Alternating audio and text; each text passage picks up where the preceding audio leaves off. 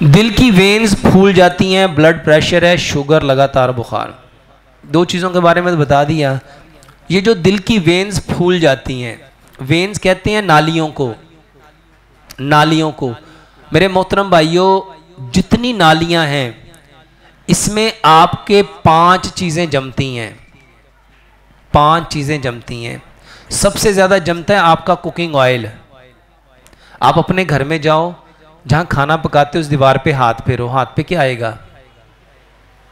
चिकनाई आएगी। अगर एग्जॉस्ट फ़ैन को उतारेंगे तो उसमें क्या लगा हुआ है? और अगर जिस बर्तन में सिंक दो, जिस पर जहाँ जिस सिंक में बर्तन धोते हैं, उसके पाइप को उतारेंगे, उसमें क्या होगा? चिकनाई। अच्छा बताओ, ज़्यादा चिकनाई दीवार पे जाती है एग्जॉस्ट फ़ैन पे जाती है, या सिंक के पाइप में जाती है, या आपके अंदर जाती है? तो वो कहा जाके नालियों में वो क्या करती होगी? वो भी जम जाती है। कभी भी कुकिंग ऑयल ना इस्तेमाल करो। वो तेल इस्तेमाल करो जो कभी जमता ही नहीं है। जो कभी जमता ही बल्कि उससे बड़ा फ़ायदा। ये किसी चीज़ को जमने नहीं देता। वो सरसों है। और मेरे भाइयों, भैंसें बीमार होती थी, गाय बीमार होती थी, बैल बीमार होते थे। सियाने लोग की कहते, दो नाला की दियो इनू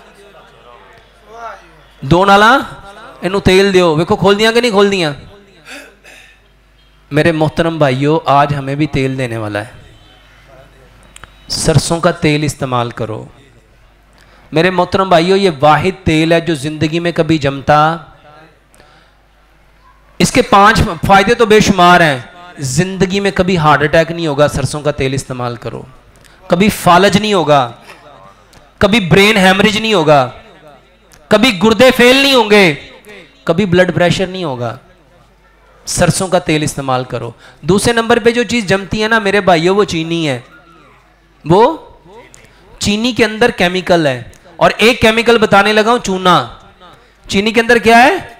चूना। अब बताओ, ये जो चूना आप पेंट करते हो कली करते हो, अगर हाथ पे लग जाए तो हाथ का क्या हाल होगा? अब बोलो, जो नालियों में जाएगा तो उसका क्या हाल होगा? इसको अपने पास रखो। चीनी बंद करके गुड़ इस्तेमाल करो, अपने पास रखो। चीनी बंद करके क्या इस्तेमाल करो? गुड़। तीसरे नंबर पे, नमक। ये जो समंदर के पानी से नमक बना ना, ये बीमार करता है। पत्थर वाला नमक इस्तेमाल करो। नानिया दादियाँ कौन सा नमक इस्तेमाल करती थी? डले वाला। खुद घर में ला के उसको कूटो और ये नमक इस्तेमाल करो। आटा पत्थर की चक्की का इस्तेमाल करो। आटा पत्थर की चक्की का इस्तेमाल करो। ये सारी बीमारियों के लिए देखो बार बार एक ही चीज़ को घुमा के बयान कर रहा हूँ।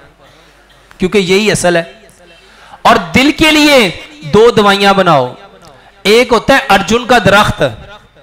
अर्जुन का दरख्त, उसकी छाल उतार के तीन इंच लंबी, तीन इंच चौड़ी छाल दो कप पानी में डालो, उसमें दो इलाचियाँ डालो, उसको इतना पकाओ इतना पकाओ इतना पकाओ, वो एक कप रह जाए। सुबह, दोपहर, शाम तीन टाइम पियो। दिल के पट्ठों के लिए, दिल के वाल के लिए, दिल की नालियों के लिए सबसे बेहतरीन दवाई है। और इसके बाद एक कप अदरक का रस एक कप लहसन का रस, एक कप सेब का सिरका और एक कप लीमू का रस। ये चार कप लो, इसको छानो, मट्टी के बर्तन में डालो, इसको इतना पकाओ इतना पकाओ इतना पकाओ इतना पकाओ, ये तीन कप रह जाए। ताकि अदरक की, लहसुन की स्मेल खत्म हो जाए, लीमू की खटास खत्म हो जाए। फिर इसको ठंडा करो। खाने से आधा घंटा पहले जो पानी पीना है, एक चम्मच सुबह, एक दोपहर, एक शाम। तीन टाइम ये लो, मेरे मोहतरम भाइयों, आपकी नालियाँ ऐसे साफ़ होंगी कि आप खुद हैरान रह जाओगे।